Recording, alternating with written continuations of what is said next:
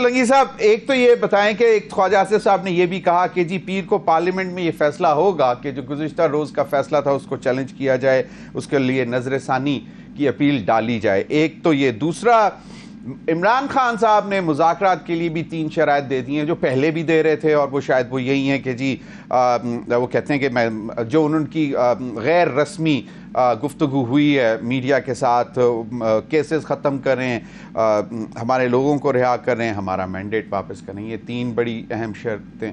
और दूसरा जो अभी बात की कि ट्रेल ऑफ़ इवेंट्स तो क्या फैसलों के हवाले से कोई ट्रेल डलने वाली वाली है? क्योंकि दो तो आ गए मतलब दो बड़े रिलीफ मिल गए पीटीआई को। तो कोई ट्रेल तो नहीं डलने जा रही कोई खिचड़ी तो नहीं पक रही बैकग्राउंड में? देखें ये जो पेशगोई का जो काम है वो मैं जो ज़्यादा बाखबर लोग हैं आ, उन तक छोड़ता हूँ। क्योंकि मेरे पास ऐसी कोई मालूम नहीं है कि किसी किस्म की कोई ट्रेल मौजूद है। जहाँ तक कल के और आज के फैसले का ताल्लुक है तो मैं समझता हूँ कि ये बिल्कुल मुख्तलिफ़ तरह के फ़ैसले हैं।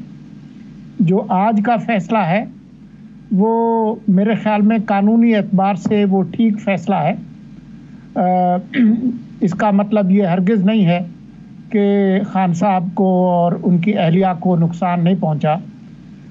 उनके जो मुतजाद बयानात थे उसके हवाले से। लेकिन कानूनी तौर पर ये कोई ऐसा मामला नहीं था जिस पर दोनों की सज़ा बनती।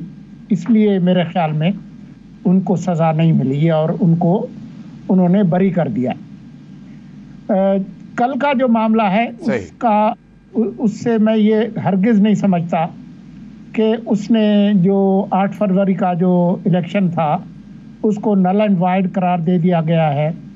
और निशान जो है वो वापस ले लिया गया है, वापस ले लिया गया है। अभी तक जो फ़ील्ड में फैसला मौजूद है जनवरी का, उसके अंदर सुप्रीम कोर्ट ने ही ये फैसला दिया था कि क्योंकि इन्होंने इलेक्शन एक्ट की खिलाफ वर्जी की है और मुसलसल की है तो इलेक्शन कमीशन का मौक़ ठीक है और इनको इंतबी निशान नहीं मिल सकता।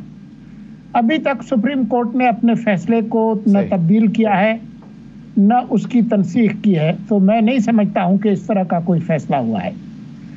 अलबत् कल का जो फैसला है उसने बहुत सारे सवाल ज़रूर उठाए हैं। मैं कानूनी माहिर नहीं हूँ लेकिन अभी तक जो मैंने तशरी सुनी है बहुत सारे कानूनी माहरीन की जो कह रहे हैं कि ये फैसला दुरुस्त है और वो जोड़ रहे हैं आइन का जो आर्टिकल है एक सौ सतासी, मुकम्मल इंसाफ देने का।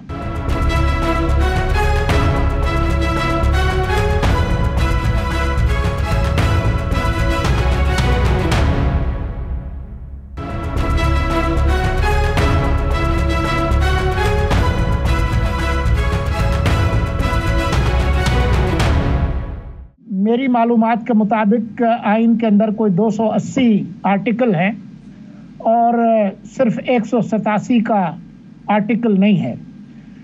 सुप्रीम कोर्ट जो है वो खुद आइन के एक आर्टिकल की पैदावार है जो आर्टिकल 175 है। उसमें बहुत वाज तौर पर लिखा है उसके क्लास टू में कि सुप्रीम कोर्ट का मतलब सत्रह जजेस हैं और सुप्रीम कोर्ट आइन और कानून के तहत ही कोई फैसले दे सकेगी। वो उससे बालातर नहीं है।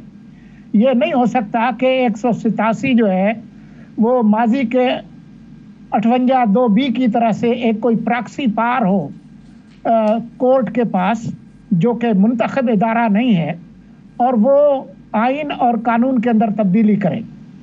कल का जो फैसला है मैं उसको आइनी और कानूनी नहीं समझता। और मैं समझता हूँ कि जो ये तनकीद हो रही है कि एक सौ पचासी जो है आर्टिकल का आइन का, उसके तहत आप वो रिलीफ दे सकते हैं जो रिलीफ मांगा जा रहा हो। उससे आगे पीछे नहीं हो सकता। रिलीफ मांगा था सुन्नी तहाद काउंसिल ने। उसके बजाय एक पार्टी जो कि वहाँ पर पिटिशनर भी नहीं थी, उनको सारी सीटें जो है महफूज नशस्तें दे दी गई। तो मैं समझता हूँ कि ये मामला नज़रसानी में जाएगा। अब ख्वाजा आसिफ साहब जो कह रहे हैं कि हम पार्लीमान में फैसला करेंगे, वो तो उन्हीं को मालूम होगा, लेकिन अगर नज़रसानी दाखिल करनी है तो इस तरह का फैसला पार्लीमान नहीं करती काबीना करती है।